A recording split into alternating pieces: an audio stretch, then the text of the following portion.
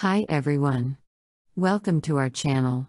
In this video, we will show you how to add text with existing PDF in JavaScript jQuery using pdf.co web API.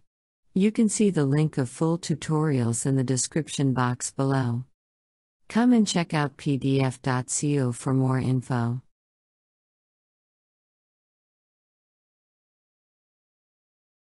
We will use this sample PDF in this tutorial. Let's start by opening the Visual Studio Code editor. You can also use your favorite editor in JavaScript.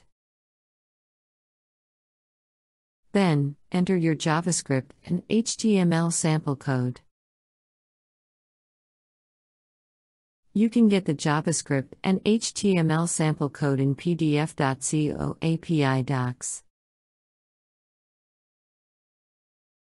For line 14, add your API key.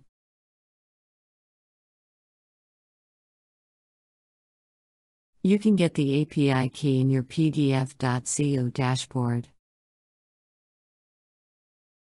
For input text, enter the text you'd like to add into the document.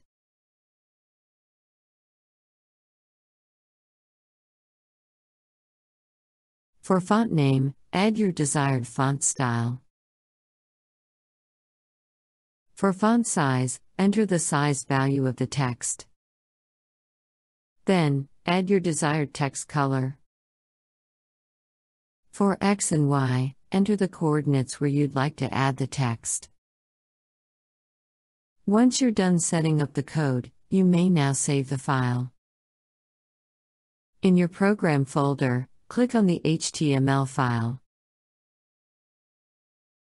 Now, Let's upload the source file. Then, click on the Convert button to send a request.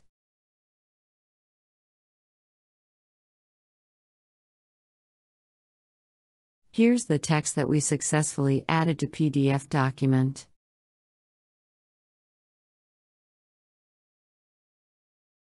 That's all for today's tutorial. We have a lot of tutorials that you can check on our pdf.co website. Or visit on our YouTube channel, and don't forget to hit the subscribe button and click the notification bell icon. Thank you for watching.